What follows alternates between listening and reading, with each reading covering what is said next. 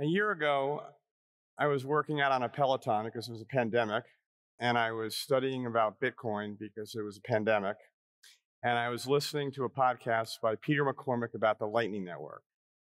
And I was blown away, and I got off the phone, the podcast, and I called Ross Stevens of NYDIG, our sponsor, and I said, Can they really do that? Because if they can really do that, this is so much bigger than I realized. And he said, They can do that. You have to speak to Elizabeth Stark. So here we are. Um, what is the Lightning Network? No E, by the way. Lightning without an E. Um, and why is it important? Uh, thanks, Brett. First of all, it's so incredible to be here today um, as a New Yorker with this crowd here being in the financial center of the world and one of the tech centers of the world. Um, so Ross is correct. This is possible. And uh, the Lightning Network is a technology that enables instant high volume transactions over Bitcoin. You can think of it as kind of this second layer, as we call it, or um, a transaction layer operating on top of the Bitcoin blockchain. So today on the internet, and by the way, I'm a tech geek. Uh, I come from the the land of magic internet money, as we say in the Bitcoin world. Um, today on the internet, it's really easy to send a photo in any application to somebody anywhere around the world instantly, right? You can do it in text message, you can send it, um, you know, via Twitter, um, WhatsApp, in a variety of ways. But why can't you send value, right? So, being the internet geek that I am, in the early days of the internet, um, I wondered, you know, why can't you actually just send money? For example, I love music to a musician, to a band, to a DJ, to somebody that created a video, and just embed it natively in the internet. So the goal with Lightning is to be able to natively embed value and payments in the internet. In fact, the early creators of the internet, Tim Berners-Lee, in the early 90s, envisioned that this would be the case. Back then, um, they created an error code. It's called HTTP 402 payment required, which is kind of like 404 not found. Um, it just was too early. So when I learned about Bitcoin, I thought, this is really cool. You know, will this actually scale and will people be able to use it to natively embed payments on the internet? And then I learned about the possibility of this second layer operating on top of Bitcoin that can scale it uh, to billions of people. And I was I was sold. And this was uh, actually back in 2014 when I first learned about this concept. Um, so a lot's happened since then, and I'm excited to chat about it today. So, what is the a use case for, for the Lightning Network? Because you know, I think for many people, they look at Bitcoin, they see the price go up, but they, particularly I think Americans, they don't see the utility of it. And, and I, I, think the thing that's interesting about Lightning is it is bringing utility to Bitcoin. So why don't we talk about right what Lightning can do? Why I was so excited. Definitely. Um, so Bitcoin's first killer use case or killer app is that of Bitcoin, the asset, right? So in 2009, Satoshi, you know, 3rd January 2009, the pseudonymous creator of Bitcoin, launched the Bitcoin network. And everyone's familiar, I'm thinking here today, with Bitcoin, the asset. You buy it, um, the price has gone up substantially. The community has a meme, we call it number go up technology, right? The idea that the price of Bitcoin will go up and there are only 21 million that ever exist. But what got me interested in Bitcoin was less of the asset element and more of the idea that Bitcoin can really be this internet of money. So with Lightning Network, we're actually building Bitcoin, the monetary network. And it's really about three years old. So Lightning uh, initially launched as a protocol in 2018 on the main Bitcoin network. We call that mainnet. My company, Lightning Labs, built some of the leading tools for developers to build on this technology. Um, and the goal there is to have internet native digital money. If Bitcoin is just the equivalent of digital gold or a digital rock, then we don't actually tap into the use cases where you can natively embed payments on the internet and have, you know, programmable money. So the goal with Lightning is really to enable this. So you ask about use cases. So the way that I think about it, in the early days of the internet, people didn't envision the use cases that are commonplace to us today. Something like a Google, a Wikipedia, Airbnb, and Uber. That's the same for the internet of money. There are all sorts of use cases. For example, in-game uh, payments for indie video game developers, streaming sats or satoshis as we call it, for streamers, for podcasters, for people creators on the internet. Um, we also have the ability to have cross-border payments uh, instantly with extremely low fees adoption in emerging markets. So there are these use cases that weren't previously possible, and then also people that did not previously have access some people think, okay, why do I need uh, Bitcoin today? I have my credit card. Well, there are billions of people around the world that do not have access to the existing credit card networks who charge something like 250, maybe even 300 basis points for a transaction. And we're actually seeing today adoption in many of these markets. Uh, El Salvador, some people may have heard, recently made Bitcoin legal tender. Today, Starbucks. There's a great company uh, called Ibex Mercado, Mercado McDonald's, uh, one called OpenNode, and a variety of major retailers are using the Lightning Network today built on the technology that my company has created, which if you'd asked me a couple months ago if this would happen, I probably would not have believed it. But welcome to 2021. So there are huge opportunities for people globally that don't have access to the financial rails that we do here in the US. Um, so you mentioned like Uber and Airbnb, sort of disruptive technologies. It seemed to me that the thing that for exploded in my mind when I heard about Lightning was the remittance market. And can you just explain like how that works? So let's just say I'm sending money to someone in Mexico City on Lightning. Um, I just think people would find it interesting, just you know how functional it is.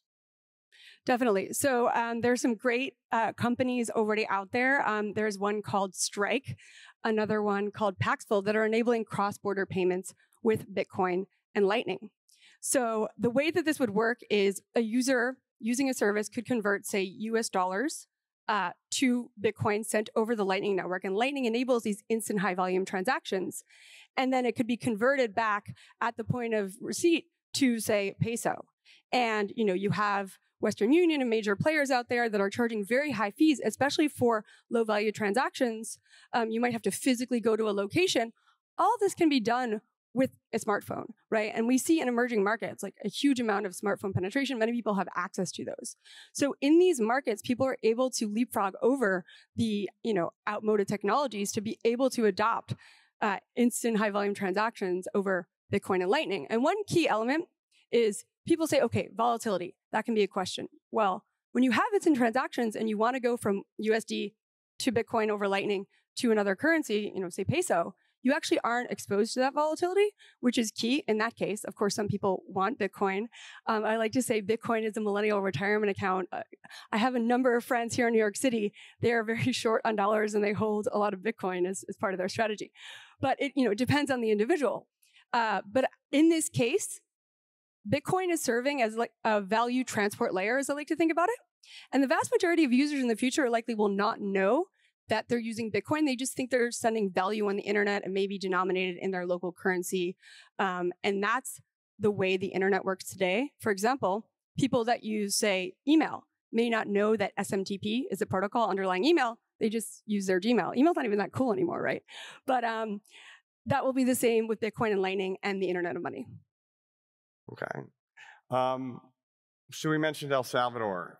Just like I guess in the development of Bitcoin, which you've been, you know, a part of for a long time now. Big deal, little deal. Is it massive? Like, can you just, just, you know, I think when I think about what you're doing, you're really bringing Bitcoin to the masses. Like, what does this mean, Bitcoin being legal tender in a country? Definitely. Um, so my company, Lightning Labs, we're about 25 people these days, and we have a number of brilliant developers. And credit, for example, to uh, my co-founder and our CTO. Uh, his name is Laolu Osuntokun, who is uh, was born in Nigeria, came to the U.S. Um, when he was younger, and has seen the value of all of this, especially with family back in Nigeria. Um, brilliant engineer, and um, so if you had told me even six months ago we would have seen nation state level adoption of both Bitcoin and Lightning, I would not have believed that, right? Um, and it happened. And even though, you know, El Salvador being a small nation, six some odd million people, I believe it is historic and significant um, that this level of adoption has occurred. And um, a number of retailers are now using the Lightning Network. And there, so Bitcoin uh, the community loves Twitter, right? Uh, people are on Twitter. I'm sure you've seen a lot of that. And there was a tweet this week because last Tuesday was the launch of this uh, law in El Salvador, and a number of these retailers were using Lightning, the technology that we had built um, called LND for my company. And a fee at Starbucks for a user paying over the Lightning network was five hundredths of a cent, which I thought was just incredible. I mean, compare that to the types of fees that people would pay uh, for the traditional, say, card networks. So um, there's a joke in the community about having, you know, paying for coffee with Bitcoin. And in the US, it is not necessarily hard to pay for coffee, but in many other emerging markets, the rails are not there and they're actually able to use the technology. So to me, I believe it is quite significant. There's also been a domino effect. Um, there's a great company out there called Galoy who's building an app called Bitcoin Beach. And this actually is what got the whole El Salvador movement started. They have a community in the south of El Salvador, a surfing community, where they've been using Bitcoin and Lightning for two years now in what we call a circular economy. So their vendors don't have access to card networks, but they have smartphones. So they're actually using Bitcoin and Lightning to send and receive money, and vendors are able to accept it. Um, and to me, that community is just the beginning. We've that company has heard from so many other governments, communities around the world that are interested in this technology. So El Salvador is the first. It's certainly not the last. And I believe we will see a variety of other, particularly emerging market nations, move forward on Bitcoin adoption. So you mentioned Twitter, right, which is important in the Bitcoin community. Bitcoin community sort of lives on Twitter. Um, no one or very few people, right, have done more for Bitcoin than Jack Dorsey, who also had the wisdom to invest in Lightning Labs. Um, Jack Dorsey, according to you know public reports, is about to integrate Lightning into Twitter. Can can you speak about, to the extent you can, you know what is forthcoming? Again, I, I think the thing that's really interesting is is the utility and and and what what services Lightning is is empowering.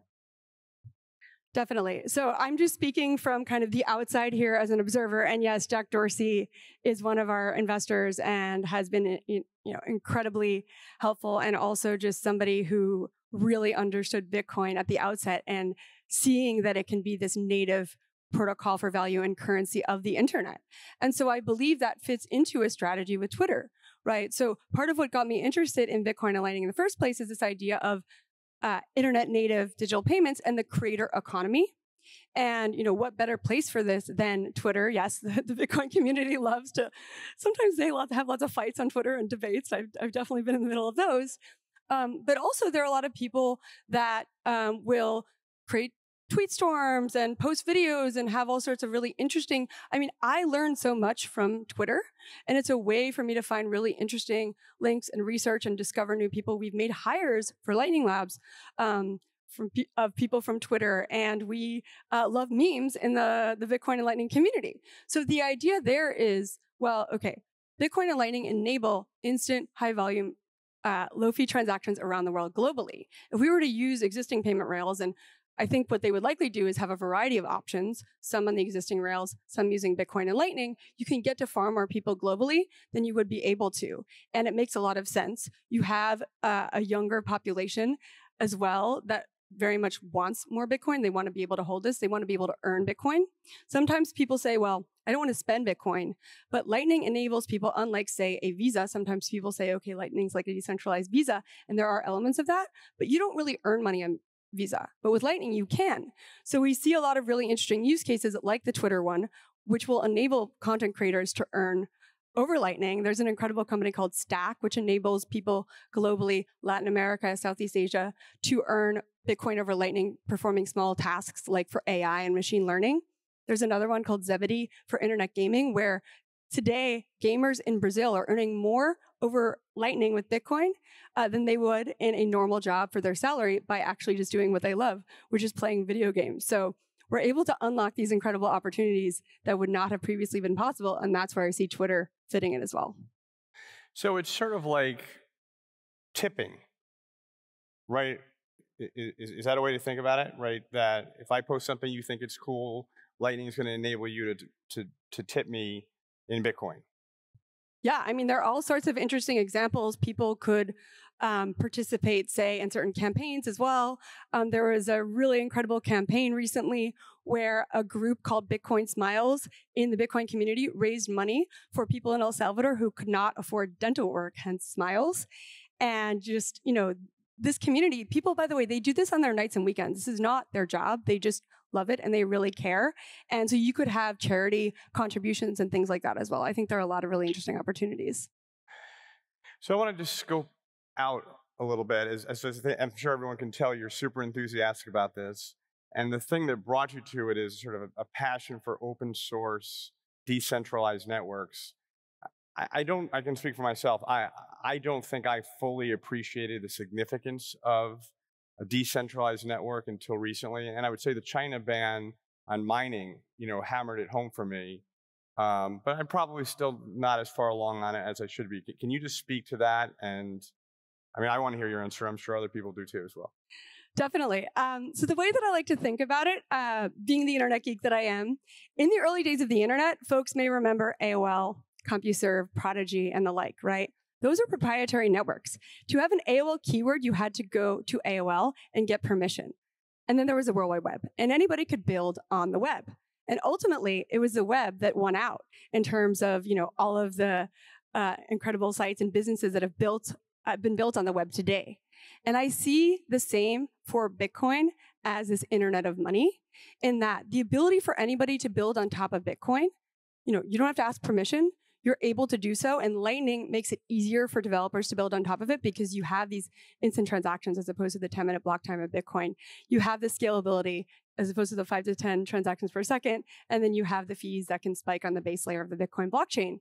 Um, so the the open uh, nature of Bitcoin and Lightning means that it's available to people around the world. For example, there's an incredible uh, entrepreneur named Bernard Parah out of Nigeria uh, who just built an application called Bitnob, right? And he just spun up a group of developers, and now they have this business, and they're building uh, for Bitcoin and Lightning, and he didn't have to go and get permission. It's just open. And now you can use the Strike app to actually send remittances to Nigeria because Bernard was able to tap into this technology and the Lightning Network.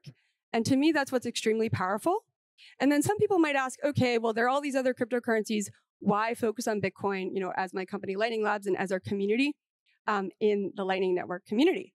And the answer is ultimately network effects, right? Right now, Bitcoin is the most secure cryptocurrency. It has the most hash power for miners backing it up. And folks are probably well aware it is the most valuable cryptocurrency with the most adoption around the world. And in emerging markets, it's even more so, by the way. In Nigeria, 32% of Nigerians uh, use cryptocurrency, the vast majority of which is uh, is Bitcoin, and then something like 50% of Nigerians are 18 and under. So there's a very young population that is very excited about this technology. And we see that in other places in emerging markets and around the world. And of course, here in the US, lots of incredible developers and builders on this technology. So my answer there is the idea that you have all these existing users, you have people that are building upon the technology. Um, there's something called Metcalfe's Law, and one of my uh, favorite researchers, Lyn Alden, has written a lot about that. Check out her macro research and her Bitcoin research. And she has a piece on network effects. And she talks about how Breaking a network effect means if something uh, is not 10 times better, it will not break it. If it's slightly better, it's very difficult. So Bitcoin already has a substantial network effect. And there's a concept of Metcalfe's law. Um, Robert Metcalfe, who created this for networks and the internet.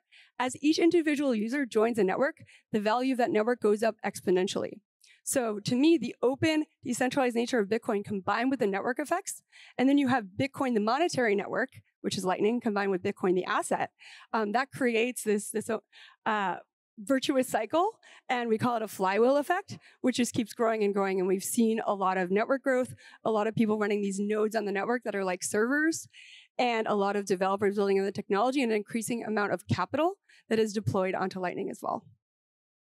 So we have a minute left. Um, there, there are about a hundred something million people that own Bitcoin, and there are projections that in four years that number will be billion, billion plus.